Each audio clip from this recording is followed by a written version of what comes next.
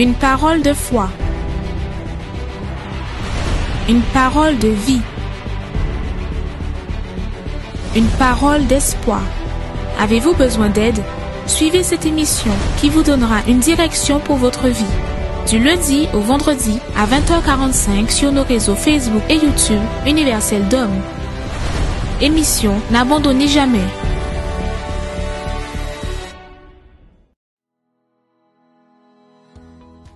Information spéciale COVID-19 Centre d'accueil universel Avant de rentrer en l'église là, songez mettez ma sao. Pangade, fort bien mettez. Néao et puis bouchard.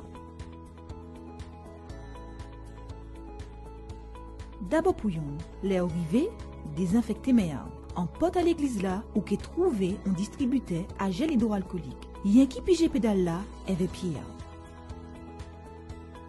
En dit dans la salle là, suivre direction à ces flèches là qui collaient à tel là. Léo qui arrivé devant l'hôtel là pour prier Dieu, toujours respecter distanciation à un mètre et puis l'hôtel là, mais aussi et puis moun là qui côté à là. Aussi, nous respecter distanciation physique à un mètre entre chaque chaise. Pendant qu'on prier Dieu, gardez masla cinéa et C'est seulement pour protéger eux et protéger les autres. Les forts qui déplaceront l'église là, qu'on les forts ou pâtis, pas courir. Toujours songer, respecter distanciation physique à 1 mètre, et puis moun qui devant là, et si là qui côté ou. Puis si mes outils, passez potes là, qui s'y côté à l'église là. Centre d'accueil universel Rouvet Potaille, et nous comptons les autres face à face. Mais en nous toujours respecter toute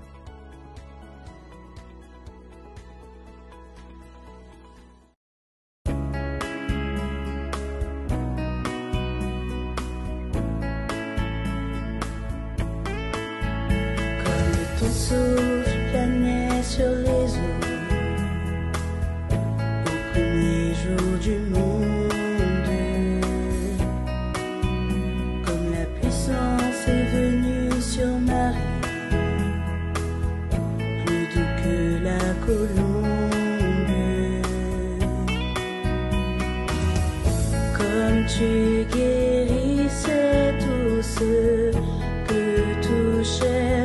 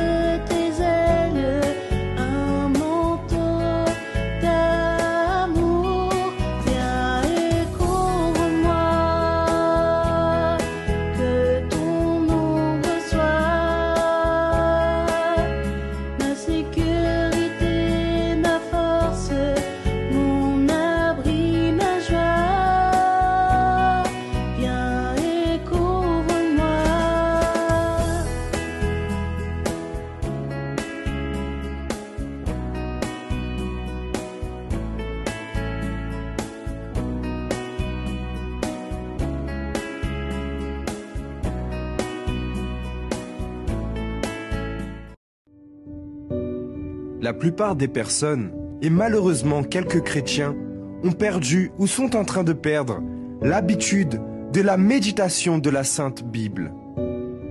Il n'existe pas de motif pour cesser de lire et méditer le livre le plus important qui existe. Avec une sagesse millénaire, la Bible au-delà de ces promesses et prophéties, est un manuel de vie. La pratique de ces enseignements change et transforme les pensées et les cœurs. Si vous avez perdu l'habitude de la méditation de la parole et que vous vous sentez faible, vous avez besoin de réfléchir à tout cela.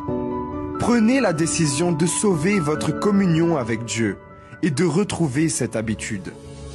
Investissez en vous en méditant tous les jours la parole de Dieu, la Sainte Bible. Utilisez la Bible comme une arme pour trouver des réponses pour votre vie.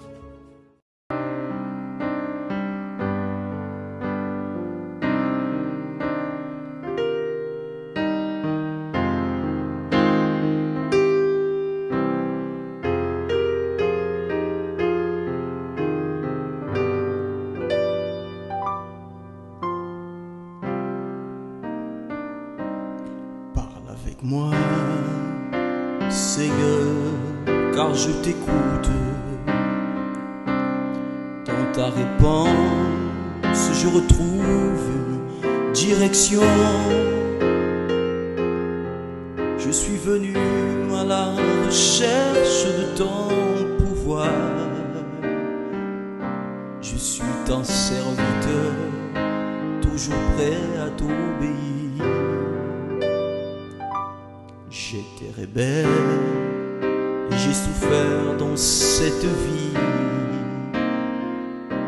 Sur les chemins de mes propres décisions. En repentance, je viens ici chercher de l'aide. Écoute et exauce la clameur de ce moment. Je veux rester au centre de ta volonté, profiter de la liberté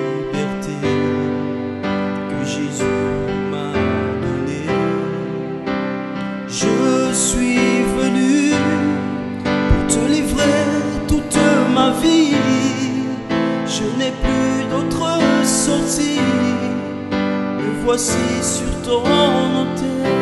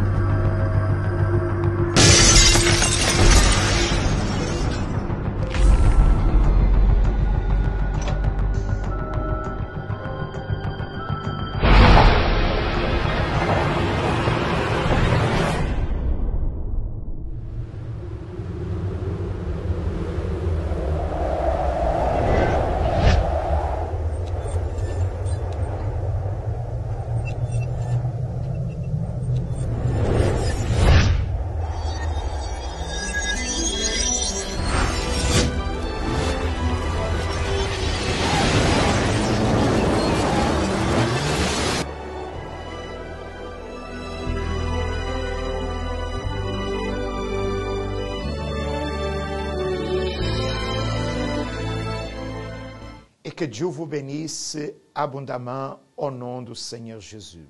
Ça, c'est votre mission de tous les soirs. N'abandonnez jamais. Ici, à travers les réseaux sociaux du Centre d'accueil universel d'hommes, vous pouvez participer, qu'il soit par Facebook, par YouTube, vous pouvez participer de cette émission, qui a l'objectif, cher ami, de vous amener la parole, la parole qui a une grande efficacité, la parole qui est puissante pour changer votre vie, votre situation. Vous que aujourd'hui, vous étiez au centre d'accueil le plus proche de chez vous pour le développement spirituel, pour l'école de la foi, pour renouveler, fortifier votre communion avec Dieu. Sachez que la parole de l'Éternel, elle s'accomplit dans la vie de ceux et de celles qui croient en elle, mais qui agissent, qui prennent des décisions basées sur cette parole. Et certainement, vous que vous êtes un serviteur de Dieu, vous que vous êtes un membre du centre d'accueil, ou que vous participez de temps en temps de nos réunions, vous pouvez constater que toutes nos réunions, nous faisons de la parole de Dieu celle que vous devez mettre en pratique pour changer, pour transformer votre vie. À l'exemple de tous les témoignages que vous pouvez suivre et regarder dans nos émissions. Vous pouvez voir les résultats que beaucoup de gens ils ont lorsqu'ils mettent en pratique la parole de Dieu. Et nous avançons dans cette émission exactement avec un témoignage. Mais avant d'écouter l'histoire de Linda, elle qui va nous parler de ce que Dieu a pu faire à travers la foi dans sa vie, par les propos, par les chaînes de prière, par des campagnes qu'elle a fait au centre d'accueil, ce qui était sa vie et ce qui est aujourd'hui sa vie. J'aimerais vous demander, vous que vous nous accompagnez par les réseaux sociaux, d'écrire sur le commentaire le prénom de votre famille, de vous être chers, de ceux qui ont besoin de la prière, car avant de terminer cette émission, nous ferons l'intercession, nous ferons la prière en faveur de votre vie. Alors s'il y en a quelqu'un de votre famille, de votre entourage, entre vous connaissances qui a besoin de la prière, écrivez le prénom et le sujet de prière pour qu'on puisse le présenter à Dieu. Vous pouvez aussi déjà préparer un verre d'eau, une bouteille d'eau, car nous le présenterons à l'Éternel lors de la prière. Suivons alors le témoignage de Linda. Voilà, nous sommes ici pour prendre en compte témoignage de vie de quelqu'un qui est arrivé à l'église, au centre d'accueil universel, avec une vie complètement détruite, mais grâce aux conseils pratiques, grâce aussi aux chaînes de prière, aujourd'hui, elle est complètement transformée. Comment vous vous appelez? Linda. Alors Linda, raconte à ces personnes qui nous suivent en ce moment, dans quel état vous étiez? Qui était Linda avant d'arriver ici au centre d'accueil universel? Alors avant d'arriver au centre d'accueil universel, j'étais euh, une jeune remplie de colère, de haine euh, à cause des situations qui se passaient dans ma famille. Euh, ça a commencé au divorce de mes parents, suite à des diverses jalousies, des choses qui étaient faites contre eux. Qu'est-ce que cela aussi engendré à l'intérieur de vous? Parce que prendre, en étant encore jeune, très jeune, prendre toutes ces choses sur vous, alors qu'est-ce que cela a engendré? Alors euh, déjà, premièrement, c'est la dépression, mais je savais pas que c'était la dépression. J'étais une jeune qui restait tout le temps seule. Pourtant, j'aimais bien les amis, mais je restais souvent seule. Même avec mes frères et sœurs, je restais pas. Euh, Il y a eu une situation chez moi où j'ai été abusée de mes 7 ans à mes 9 ans, mais mes parents, ils étaient pas au courant parce qu'ils étaient trop préoccupés à se bagarrer. Donc, ils, ils voyaient pas ce qui, se, passait. Mais une fois que mon père a quitté la maison, c'est là que moi et ma sœur, on a décidé de parler et ma mère, elle a pas supporté. Du coup, elle a décidé de nous abandonner pendant une durée de six mois en Haïti. Et en arrivant ici au centre d'accueil universel, comment ça a été? Alors j'ai été invitée par une fille euh, en classe de troisième qui m'a invitée au groupe jeune et j'ai tout de suite adhéré. J'ai tout de suite adhéré parce qu'en fait c'est les témoignages qui m'ont attiré l'attention, surtout euh, un témoignage euh, d'une personne qui aujourd'hui est pasteur.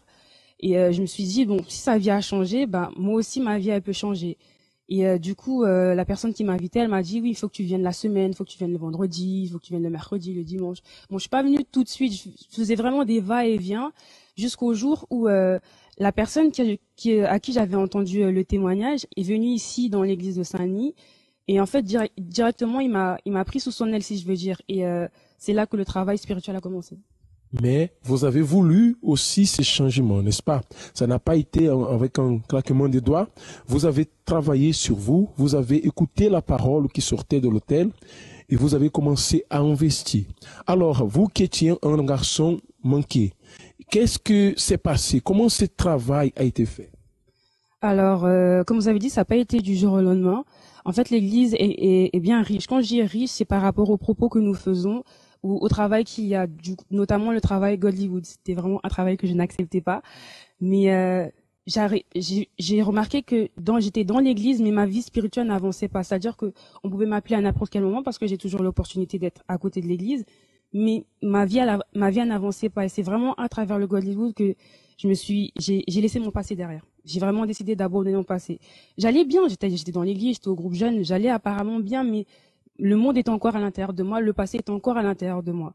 Du coup le travail du Godlywood m'a aidé à abandonner mon passé, à ne plus me culpabiliser pour des choses dont je suis responsable ou, non responsable, et surtout à comprendre qu'est-ce qu'une femme. Qu'est-ce qu'une femme? Parce que j'ai été par la suite éduquée par mon père, donc il a fait le maximum, il a fait du très bon travail déjà, mais euh, voilà, c'est là qu'intervient le travail des épouses, des ouvrières qui ont vraiment vraiment été patientes avec moi et euh, surtout ce qui a fait la différence c'est quand j'ai accepté mon état vraiment de reconnaître voilà, je suis comme ça. Et ça, ça a été le jour de ma rencontre avec Dieu. Qu'est-ce qui a changé? Aujourd'hui, vous êtes une transformée, vous êtes une personne différente. Alors, raconte à ces personnes, à ces jeunes qui nous regardent en ce moment, qui peut-être se trouvent dans la même situation que vous, enfermés dans la chambre, ne veut pas parler avec ses parents, a une vie complètement détruite. Quel est le conseil que vous pouvez leur donner? Le même conseil qui, qui, a, qui a déclenché tout le changement dans ma vie, c'est quand on m'a dit si tu veux que la situation elle change, faut que d'abord toi tu changes. Et euh, apparemment c'est dur, c'est dur d'entendre ça quand on se dit que c'est à cause des autres qu'on est dans cette situation, c'est à cause des autres que voilà j'ai passé par telle situation. Mais quand on n'accepte plus d'être une victime et de vraiment aller de l'avant, on, on, se donne les moyens, on se donne les moyens, on, on va chercher euh, euh, la force, euh, cette force spirituelle. C'est pour ça qu'on nous dit souvent de d'investir dans notre vie spirituelle parce que c'est de là que va sortir la force, à part, enfin, au moyen de la foi, bien sûr. Et euh, donc c'est vraiment euh, le conseil, c'est vraiment de s'abandonner en fait, de pas de pas résister. Voilà. Ça fait combien de temps vous êtes à l'église? Ça fait neuf ans. Neuf ans. Et dans ces neuf ans, vous pouvez dire que vraiment il a eu une transformation radicale. Totalement. Alors c'est ce qui peut aussi arriver dans votre vie lorsque vous croyez, lorsque vous mettez en pratique la parole qui vous est donnée. Mettez en pratique et vous verrez le pouvoir de Dieu se manifester. De retour avec vous, chers amis, faites ce que Linda elle a dit. Ne acceptez plus de vous faire victime. Quoi que ce soit le problème, la situation, la douleur, qu'elle soit spirituelle, physique, le problème qu'il soit familial, professionnel, sentimental, peu importe la situation. Mais ne jouez plus le rôle de victime, mais ayez la foi pour changer votre vie. Ne vous préoccupez pas avec ce que les autres pensent, les autres disent, les autres font. Ayez votre communion avec Dieu, ayez votre foi basée sur sa parole et agissez de manière à attirer son attention. Nous avons ce verset biblique qui est écrit au livre de Nombre, le chapitre 12, le verset 7. Lorsque l'Éternel lui-même, il a dit, il n'est un signe de mon serviteur Moïse, il est fidèle dans toute ma maison. Dieu a vu la différence entre Moïse et son frère Aaron et sa sœur Marie. Dieu a vu qu'il était un homme fidèle. Il était un vrai serviteur de l'Éternel. Faisons, obéissons, pratiquons la parole. Et lorsque une personne le fait, alors Dieu, il regarde sa fidélité et il agit dans la vie de cette personne.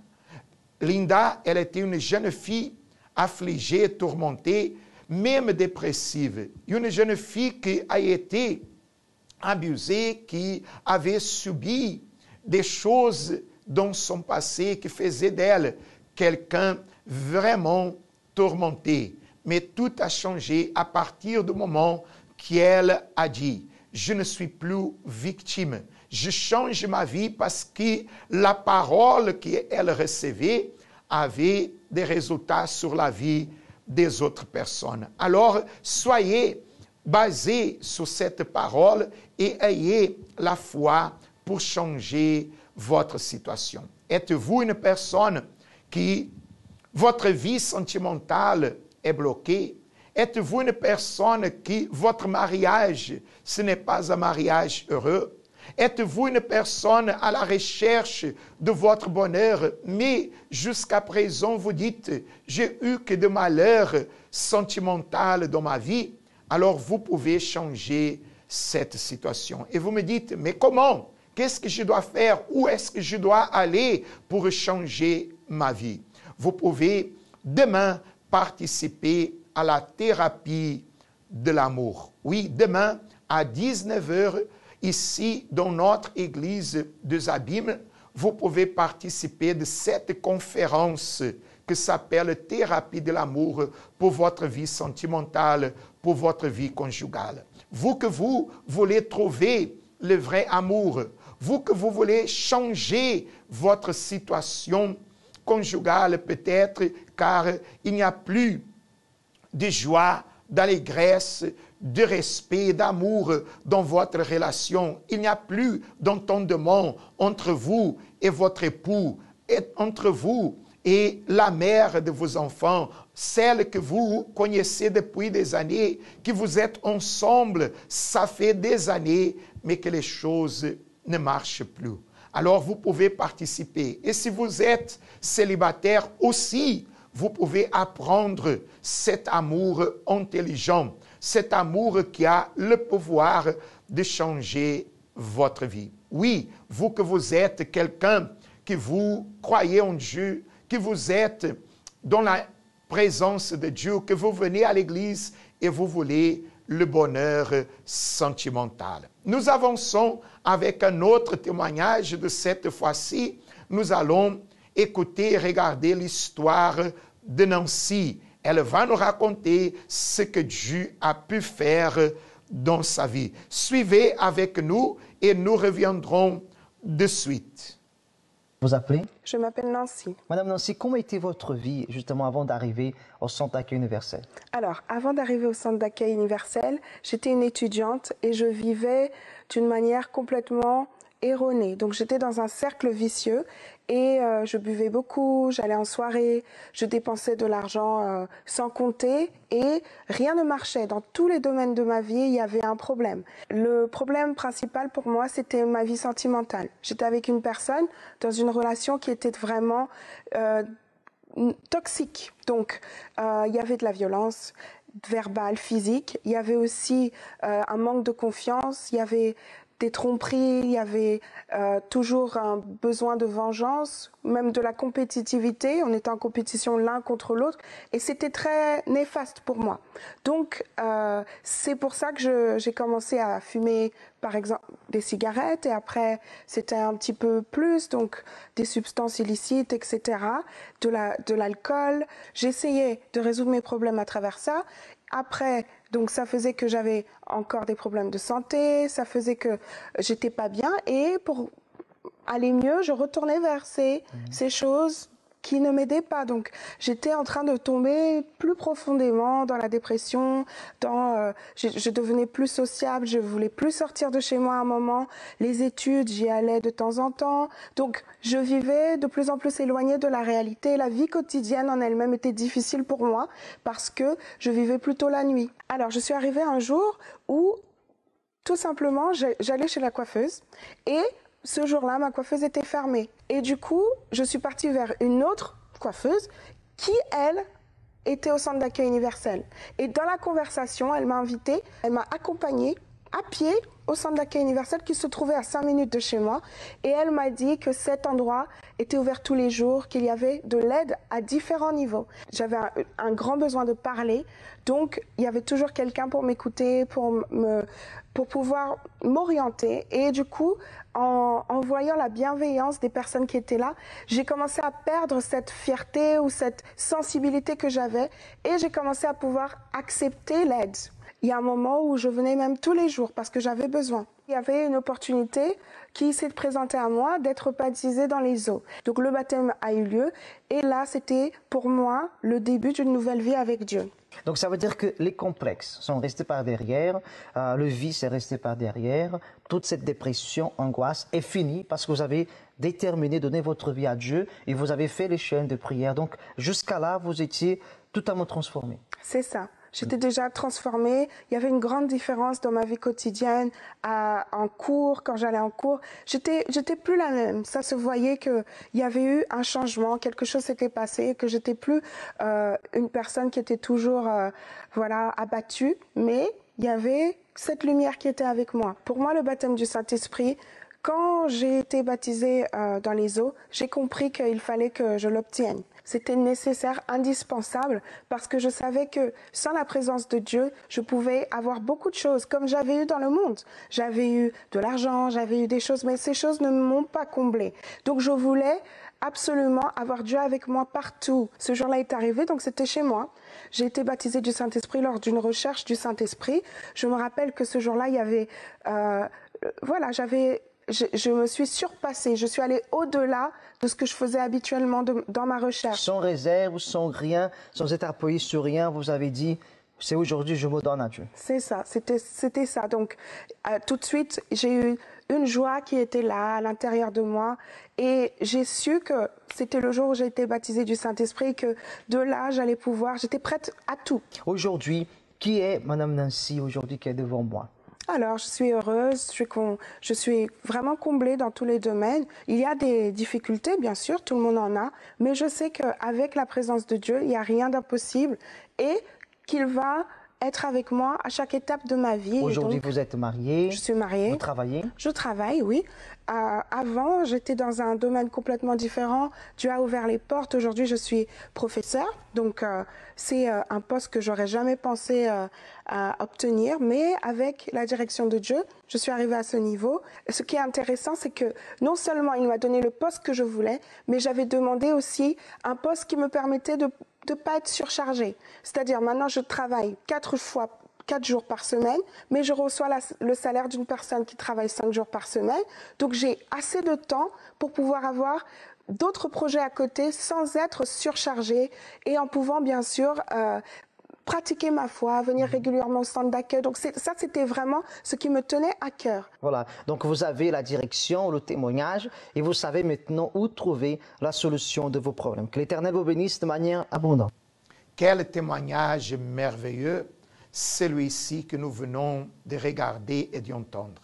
Madame Nancy, qui avait une vie complètement chaotique, détruite, malheureuse, commençons par sa vie spirituelle et sentimentale, mais aussi dans les autres domaines, elle a pu voir une transformation. Et comme elle a dit, aujourd'hui, une femme comblée, une femme qui est bien spirituellement, une femme mariée, une femme qui réussit dans la vie, dans ses projets, une femme qui a vu le pouvoir de Dieu dans sa vie. Voulez-vous aussi le voir?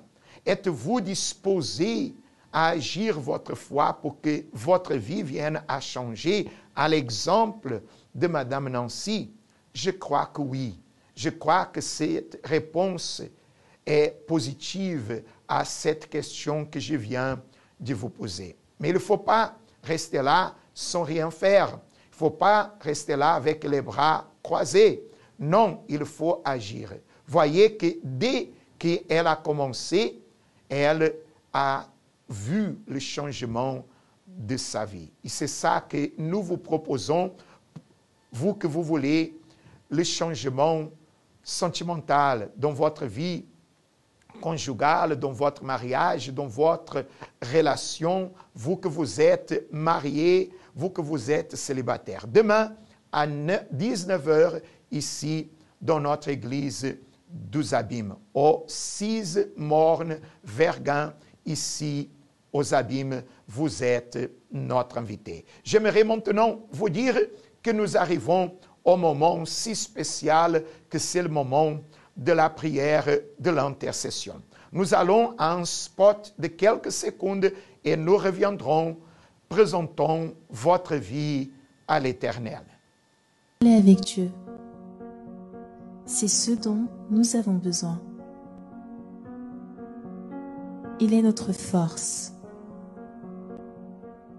pour surmonter toutes les difficultés. Préparez votre verre d'eau. C'est le moment de la prière. Seigneur notre Dieu et notre Père, ici dans ta présence, nous avons, Seigneur, le nom de toutes les personnes qui ont besoin de ton pouvoir. Oui, elles ont besoin de ta main forte. Elles ont besoin, Seigneur, de ton secours. Car elles portent, Seigneur, des fardeaux, des alourdeurs, des problèmes que aux yeux, Seigneur, humains des hommes n'ont pas de solution. Elles ont, Seigneur, des souffrances spirituelles, physiques, des problèmes de santé, de problèmes, Seigneur, familiaux. Elles ont, Seigneur, tant de situations qu'elles ont besoin de se décharger en toi. Elles ont besoin de présenter, mon Dieu, à toi tout ce que se passe dans leur vie et qu'il y en a que le Seigneur que peut résoudre, que peut apporter un changement, une transformation. Il y en a que le Seigneur que peut donner à cette personne. Mon Dieu, ce qu'elle a cherché partout, Seigneur. Elle est allée frappant, Seigneur, de porte en porte, mais elle n'a pas trouvé. C'est le Seigneur qui peut guérir cette infirmité, cette maladie, Seigneur, chronique, incurable. Cette maladie, Seigneur, que peut-être, Seigneur, elle est déjà passée par, Seigneur, plusieurs traitements, Seigneur. Et le résultat, Seigneur, n'existait pas. Viens, Seigneur, avec ton pouvoir agir pour arracher, Seigneur, cette souffrance, cette maladie, pour guérir, Seigneur, son corps, pour purifier son corps tel que le Seigneur a guéri le lépreux lorsqu'il dit, Seigneur, si tu peux, si tu veux, tu peux me rendre pur. Et le Seigneur a dit, oui, je le veux, sois pur. Et il fut, Seigneur, complètement guéri. Viens, Seigneur, à l'aide de cette mère que pleure, Seigneur, qui prie en faveur de ses enfants. Car elle le voit, Seigneur, Marchons, Seigneur, dans la mauvaise voie, avec de mauvaises fréquentations. Seigneur, dominés par les vices. Cherchons, Seigneur, refuge dans la drogue, dans la criminalité. Mon Dieu, visite avec ton pouvoir cette personne que chez elle clame, invoque ton nom. Demande, Seigneur, la manifestation de ton pouvoir pour un domaine de sa vie, Seigneur, qui a besoin, Seigneur, d'un miracle urgent, qu'il soit la vie, Seigneur, professionnelle, la vie, mon Dieu, sentimentale, la vie spirituelle. Manifeste ton pouvoir pour défaire toutes les ténèbres et pour accorder à cette personne la bénédiction. Mon Dieu, nous remettons la vie de ton peuple entre tes mains et nous consacrons ce verre d'eau, cette bouteille d'eau, afin que la paix, la joie, la force de ton esprit pénètre en nous et nous relève et nous ranime et nous donne la vraie vie. Au nom du Père, du Fils et du Saint-Esprit, dites Amen, dites grâce à Dieu. Grâce à Dieu, cher ami. Buvez alors de cette bouteille d'eau, de ce verre d'eau. Soyez bénis au nom de Jésus.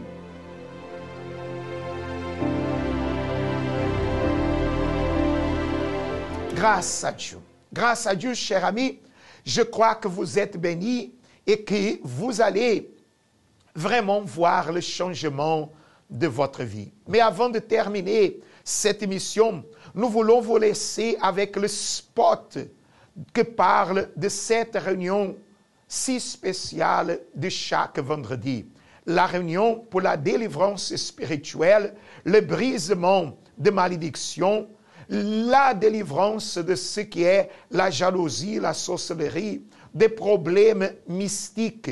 Vous que vous souffrez beaucoup à cause des forces maléfiques. Et en regardant ce spot, vous allez vous identifier avec les symptômes, les problèmes que vous seront montrés dans ce spot. Oui, vendredi, que dans le centre d'accueil universel, c'est les jours de combat spirituel. Et je serai avec vous à Baïf, au 51, en passe Louis Berriot, là à Baïf, à 10 heures du matin, à 15 heures et aussi à 19 heures. Vous êtes mon invité spécial. 51, en, passe Louis Belrio à Baïf. Vous êtes notre invité. Regardez ce spot et que Dieu vous bénisse abondamment au nom du Seigneur Jésus. Un vêtement qui a disparu. Une poudre étrange qui est apparue devant la porte de la maison ou de l'entreprise. Une poupée remplie d'aiguilles avec un nom inscrit à l'intérieur. Une de vos photos, trouvée dans le cimetière. Ce sont des rituels réalisés pour détruire les personnes dans plusieurs domaines de leur vie. Beaucoup ont remarqué qu'après avoir trouvé quelque chose de mystérieux ou après la disparition d'un objet personnel, des choses étranges ont commencé à arriver et leur vie a commencé à s'écrouler. Si vous vous identifiez à cette situation, venez vendredi afin de détruire tous les rituels dans la prière de la délivrance. À 7h, 10h, 15h et 19h, au centre d'accueil des abîmes, 6 Verguin face à la Brède, ou dans tous nos CAU d'hommes.